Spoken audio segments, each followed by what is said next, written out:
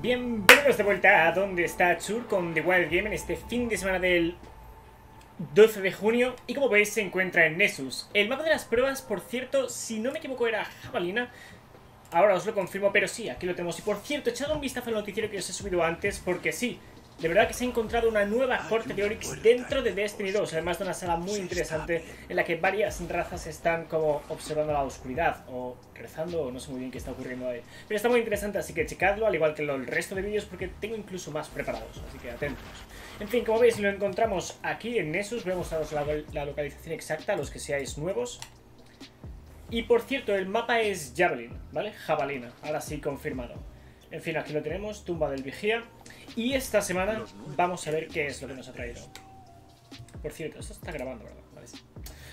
Uh, como veis, tenemos Garra Oscura, Flujo Raiden para Cazador, Sintoceps para Titán y Espolón de Prometeo para Hechicero.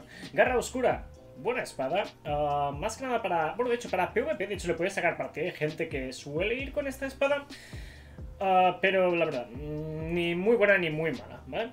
Esta te permite disparar a larga distancia, ¿vale? Es la ventaja exótica que le permite disparar el ataque de proyectil pesado y los pesados también son más fuertes con la energía completa y los ataques atraviesan parcialmente escudos elementales. Bastante notable, bastante poderosa y ahora sí, eh, de hecho sí, aquí tiene el catalizador que aún no he completado. O de hecho no sé por qué no me permite activarlo. De todos modos, pasando a otro tema. Ah, vale, sí, claro, es la que estaba observando ahí.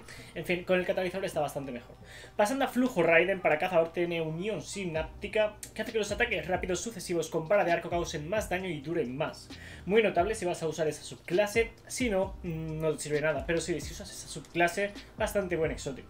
Luego tenemos Sintoceps para Titán, de mis favoritos para Titán, que aumenta el alcance de las investidas cuerpo a cuerpo y mejora el daño de la super y el cuerpo a cuerpo cuando está rodeado. No sé si era como que tenía alguna otra ventaja que no terminan de mencionar aquí. El caso es que es muy notable para PvP, el alcance extra que tienes y la mejora de daño de la super y el cuerpo a cuerpo cuando está rodeado. Y os los recomiendo. Y finalmente Espolón de Prometeo para Hechicero tiene ascuas de luz que hace que mientras Alborada, la super solar, está activa, eliminar combatientes o guardianes crea una grieta de poder y de curación en su vocación.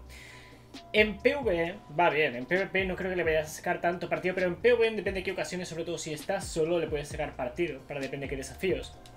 Dicho eso, eso es todo, ¿vale? Atentos a otro vídeo que tengo preparados para hoy más tarde, así que echadle un vistazo a los otros, ¿vale? Así no se os acumulan. En fin, espero que sea, os haya gustado el vídeo. Muy atentos al vídeo después. Suerte en las pruebas de Osiris. Suscribiros si no lo estáis. Bendiciones. Decidle a vuestra madre que queréis. Y nos vemos en el próximo vídeo. En un par de horas. Adiós.